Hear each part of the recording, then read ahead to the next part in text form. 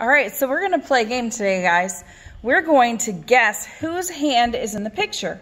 Because remember in the story how the people on the road didn't recognize Jesus until he did something that was very familiar to them, that they remembered was him, and then they knew who it was?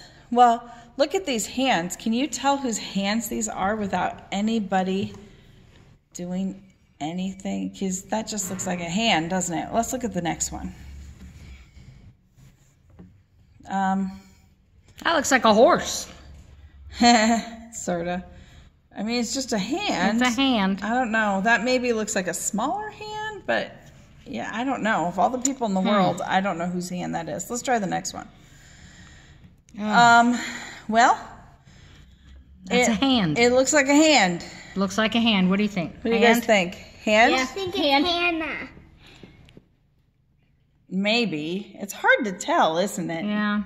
Eh, It's just a hand. Just a hand. Just a hand. Oh, let's look at the next one. That looks like Handa. Ah! Ah! Handa. Handa. Handa. Uh, I don't know. It's just a hand too. These all look a lot the same. I'm not even sure I know. Remember which one is my hand in that mix? I don't know. Wow. Yeah. This is hard. What can we do to help us recognize the hands? Hmm. I don't know. Maybe we could. I got an idea. Maybe we could put something in our hands, or we could have things on our hands that look more like things familiar to us. Let's try.